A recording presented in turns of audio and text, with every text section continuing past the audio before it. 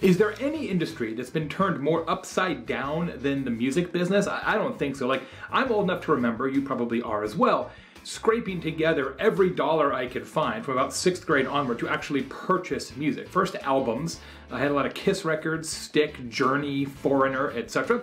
Uh, and then cassettes, which obviously made transportation of music a lot simpler. My first two cassette purchases were in eighth grade uh, Steve Miller Band Abracadabra and Men at Work. Uh, and music back then was pricey. It was expensive. I remember cassettes being on sale uh, for $11.99, and that was like a huge bargain. And $11.99 in the 80s is the equivalent of $25 today. 25 bucks. That's like months worth of a streaming uh, subscription. So 25 bucks is a lot. And, and of course, that's where the music business kind of went awry. The internet, you know, Napster and then iTunes, and of course now Spotify kind of hollowed out the revenue and left the actual musicians with, with scraps. It wasn't like they were getting the majority of the $12 for a cassette either, but it was a lot better than the fractions of a penny that they get for every Spotify play today. So now, if musicians want to actually be able to make a living playing music, they got to do it on touring. They got to tour and tour and tour and tour and tour and sell a whole bunch of t-shirts along the way. The music used to be the moneymaker. Now, the music is the marketing plan for tickets and merchandise. And there is a lot of music out there, more than 2 million artists on Spotify, but the top 4% of them take 95% of all the proceeds. It is a tough business, and the chances of success in the music business are not great. For every uh, Kacey Musgraves out there, there's hundreds and hundreds and hundreds of talented musicians that just can't make the numbers add up. But word of mouth can help a lot. I don't know everything. But I do know this the more you try to fit in, the more your customers will tune out. And this week on Talk Triggers, I'm going to tell you about a funk band from Nashville, Tennessee that overcomes all those music industry odds, dares to be different, and uses word of mouth to sell out their shows every single night.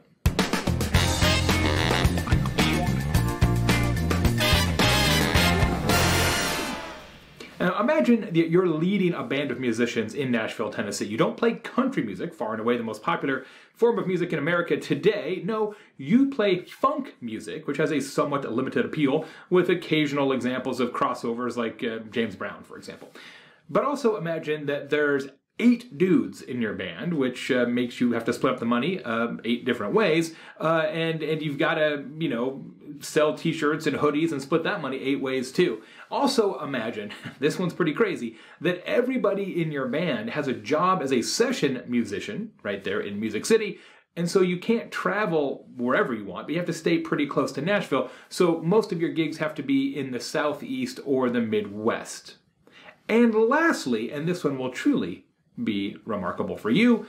Imagine that almost all of the people in the band have won Grammy Awards for their excellence in the recording studio as session musicians, and all of the identities of your band members have to remain a secret because their record label contracts prohibits them from being in another band and touring.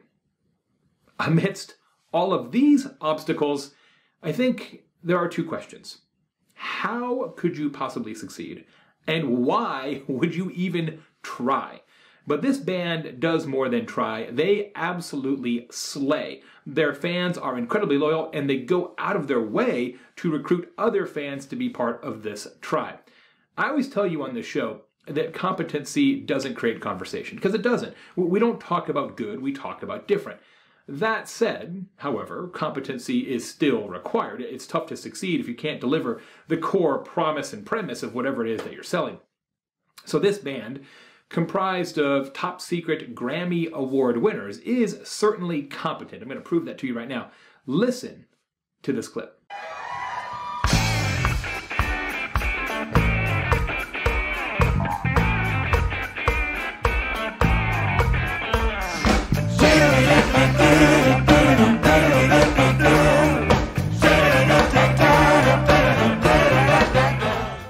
So now a quick question for you.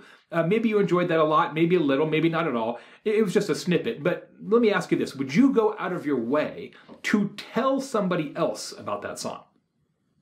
No, you wouldn't. It's not, you know, it's competent for sure, but it's not talkable. There's nothing particularly unexpected about it other than the fact that it's funk, which is a bit of a niche to begin with.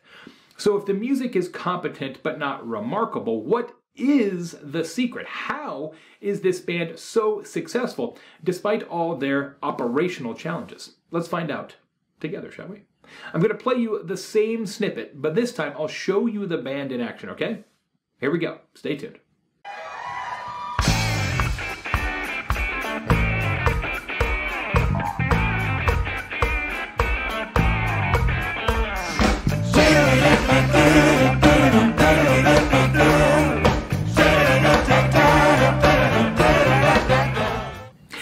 That was a much different experience, right? What is the band's recipe for selling out shows almost every single time and becoming known as one of America's very best touring live bands? As you can see, they've got a little bit of a costume thing going on. For 19 years, across nine studio albums, more than 1,000 live performances, this band takes the stage entirely, exclusively, and completely as mummies.